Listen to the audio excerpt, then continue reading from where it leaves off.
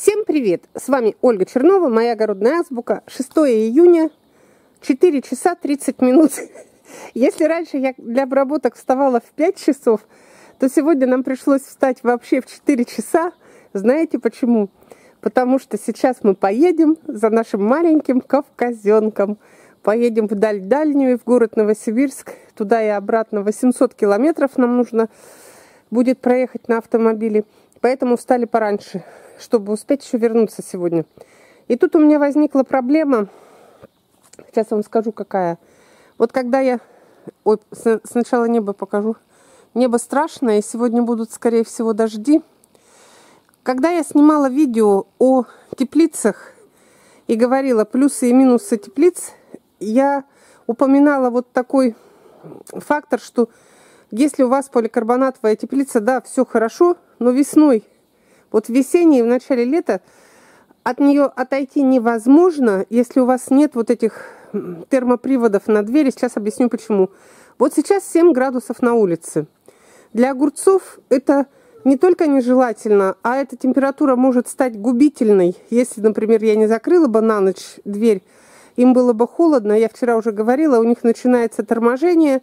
И если длительный период при такой температуре они постоят, они могут даже погибнуть. Я вот сейчас стою, вышла и не знаю, что мне делать. У меня на ночь двери были все закрыты.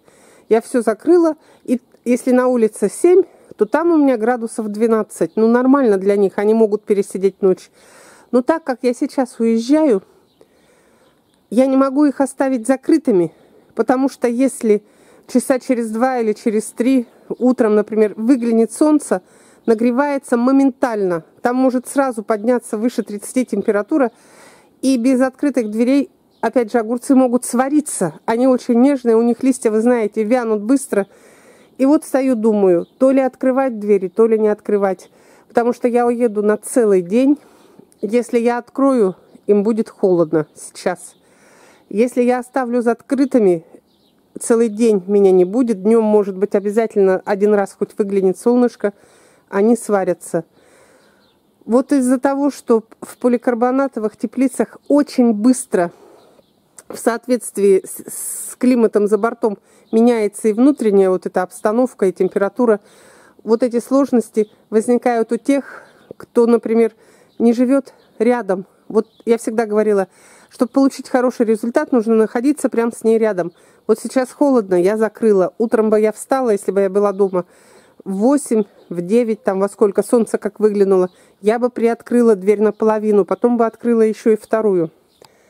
Вот сейчас подумаю, что решу, скажу вам вечером, когда приеду, потому что что-то нужно принимать решение, или открытую оставить дверь, или все-таки рискнуть и уехать с закрытыми дверями. Но с закрытыми дверями риск еще больший, потому что если они сварятся... Птичка полетела. Ладно, пока до свидания. Вечером я доснимаю этот выпуск, выложу его. И, возможно, вы уже увидите маленького кавказенка нашего. Едем за собачкой. Второй час пути уже у нас в тумане. Такой туман плотный. И несмотря на то, что уже седьмой час утра, мы уже скоро к Барнаулу подъедем. И все туман, туман и туман.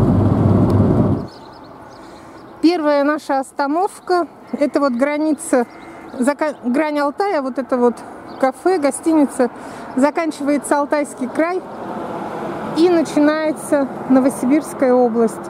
Такой комплекс очень красивый. Ну, для туристов, вероятно, все выстроено. Но сейчас все пусто.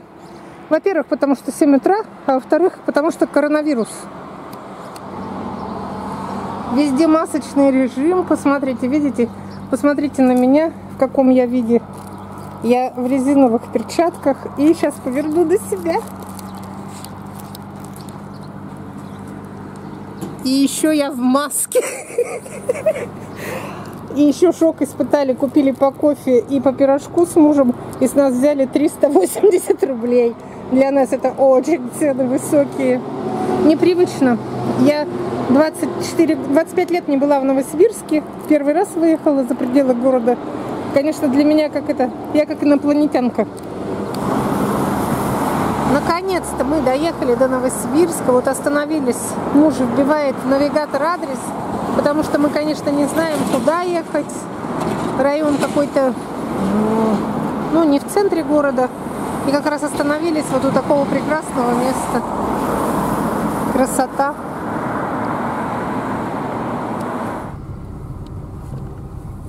Большой дом какой строят. торговый комплекс гранит.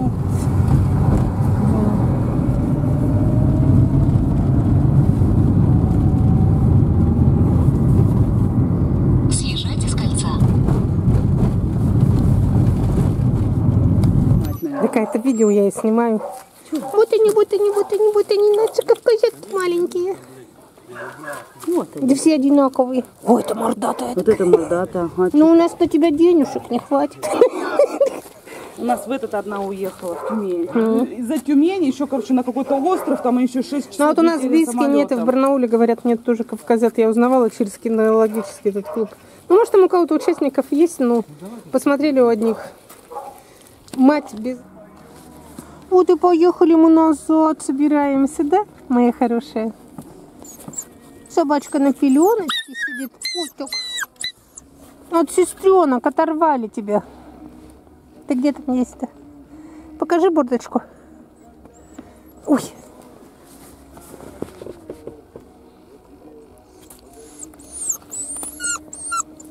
Мордошечку маленькую. Будь какая хорошая. Грустно, да. Оторвали.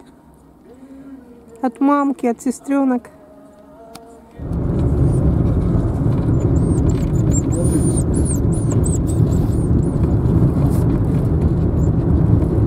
Никак не может успокоиться бедная собачка.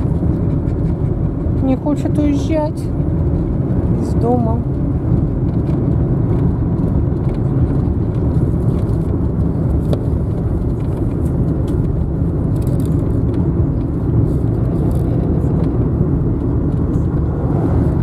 Смотрит с тоской в окошко. Прощайся с Новосибирском. Кавказеныш.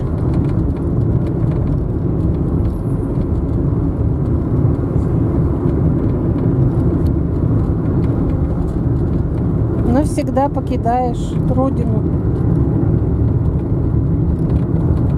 Анатолий понимает, она с такой тоской смотрит прям в это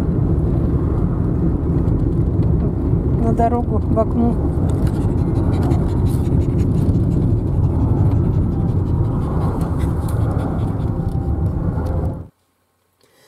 И в конце такого радостного видеоролика все-таки придется капельку яда добавить или как ложечку дегтя, когда я говорила, что могут некоторые люди особо одаренные понять неправильно, когда я показывала, что я хилых подкармливаю этим, здоровых этим, а томатное поле вообще не подкормила.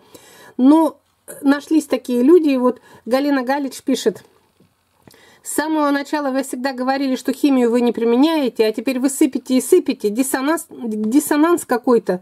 Да не смотрите вы на других, ведь растение больше, чем положено, все равно не даст. Так смотрела вас всегда с удовольствием. А теперь такое ощущение, что после каждого видео надо сбегать в магазин и купить амофоску, барафоску, мочевину. Но не буду, конечно, этого делать, а просто надо найти блогера, который верен своим традициям, не повторяет за всеми надо и не надо, что я знаю, что вы ответите, это дело лично каждого. Если вам люди поверили с самого начала, не надо подхватывать чужие песни. Ну, может, я и не права, и с самого начала сыпали все различные химикаты, просто не говорила. Я думала, что у вас в природе земледелия перегной, зола, бурное опрыскивание и вода, извините, если обидела, разочарование.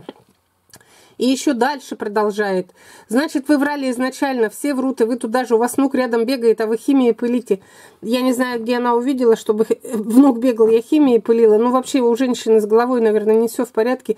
Но я ей ответила, что я уже говорила, что вот если я могу сделать одну единственную подкормку за сезон, то все будет, то будет для меня уже хорошо. А иногда я и одну даже не успеваю. Но я все это объясняла, бесполезно объяснять людям, у которых броня вот в три, пар, в три пальца, им хоть что говори, а не свою. А вы, Галина, просто не умеете правильно воспринимать информацию. Ну, во-первых, барафоска это не химия, все знают, что химией считаются инсектициды, гербициды, вот такие все. А барафоска, она составлена из натуральных минеральных веществ. А во-вторых, да, вам не обязательно это делать. И еще даже в-третьих хочу сказать, что при внуке никогда не пылю. Вот вы написали ерунду, и вот действительно вот эту каплю яда, мне кажется, что у вас больше яда, чем во всех моих ядах-химикатах. Еще раз пишет. Оля, ведь вы раньше химикатами не подкармливали. Она считает, что одного мало сообщения. Под, этим же видео пишет еще раз. Смотрю, у вас с самого начала все растет на Алтае, зачем это химия, теперь в каждом ролике барафоска, суперфосфат, мочевина, больше не хочу вас смотреть, вы же говорили, что никакими удобрениями не пользовались.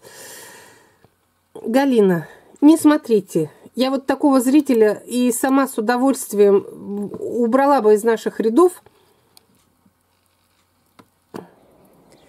И хочу Галине прям дать полный такой развернутый ответ и всем остальным – я не знаю, Галя, как вы смотрели. Я в прошлом году сидела в теплице и говорила, что при высадке кладу одну ложечку суперфосфата в лунку столовую, одну чайную ложечку калия сернокислого и ложечку золы.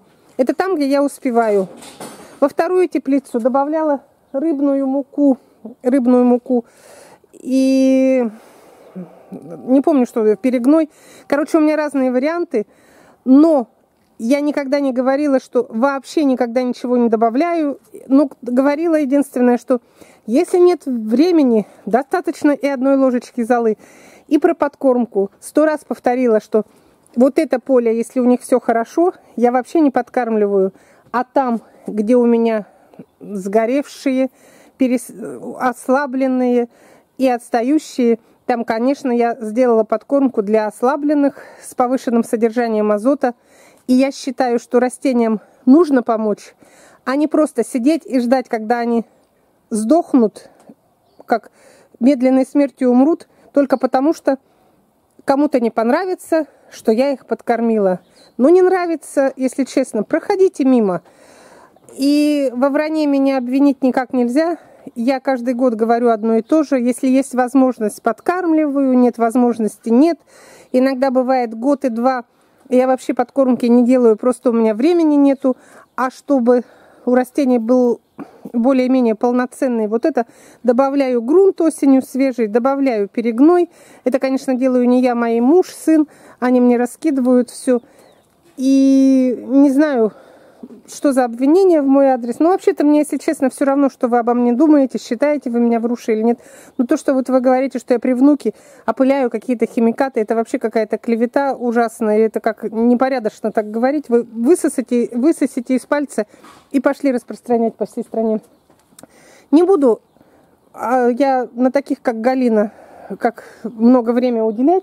Тем более сегодня такой прекрасный день. У меня появился питомец. Сегодня встала в 5 утра, покормила его, погладила. Буду подробности вам показывать о щеночке. У нас сегодня очень холодно. Вы видите, что вот такая вот прям роса на растениях. 8 градусов ночью. У меня есть проблемы, как сказать, поважнее, чем отбиваться от Галины Белич. Все, до свидания. Буду... Сегодня у меня выходной, сегодня придет внук знакомиться с собачкой, а с понедельника буду рассказывать, показывать видео об ошибках этого года. Я сначала хотела начать с той теплицы, которая с подогревом. Сейчас перейду в другую, подождите. Но начать придется совсем с другого. Начну снимать видеоролики. Не нужно так делать. Это о том, я вам рассказывала, что Катю попросила пропасанковать, а она мне удалила у молодых томатов все-все-все-все-все листья, все вообще буквально до цветов. Вот стоят они голые. Буду показывать и рассказывать начинающим, что так не нужно делать. У нас вот пол теплицы теперь стоит без листьев. Я сидела сейчас в шоке, вообще не знала, что делать.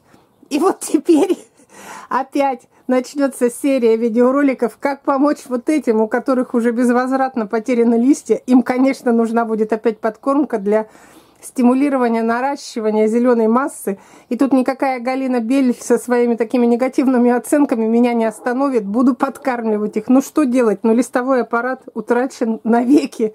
Все, до свидания. Желаю вам не повторять ошибок. Какие ошибки можно как-то исправить, или, или можно вообще так не надо делать, это начнем говорить об этом с понедельника. До свидания, с вами Ольга Чернова и моя огородная азбука. Обзор вчерашний плавно перерос в сегодняшний, потому что вчера приехали в 6 вечера, и после 12 часов в машине, после поездки в Новосибирск, да снимать, конечно, ничего я не смогла. Оставляла теплицу, ту дверь закрыла, эту открыла. Огурцы пережили день хорошо, но сегодняшняя ночь опять была очень холодная. Закрывала все. Представьте, у нас 8 градусов. Утром вышла роса, вот такая вот холодная ледяная роса на томатах. Но придется потерпеть два дня. Дальше будет 10-11 градусов. Все, вот это самые последние холодные ночи. Я думаю, что в этом году мы обошлись без заморозков. Но холодная роса – это тоже опасность. Если бы дальше было, вот обычно люди говорят, что когда холодная роса на томатах, после этого начинаются и какие-то заболевания. Вот эти вот дождливые дни, сырость, ночью холодная роса, томатам очень плохо. И я рада, что у нас следующие ночи будут более теплые. Не знаю, был здесь вчера у нас дождь или нет. Мы в Новосибирск, когда ездили, три раза попадали под дождь. Сегодня практически ничего не буду делать. Будем заниматься собакой, устройством ее жизни. А с завтрашнего дня, конечно, продолжится огородная жизнь. Но вот пока вышло очень холодно. Вот эта холодная роса на томатах, она меня так пугает.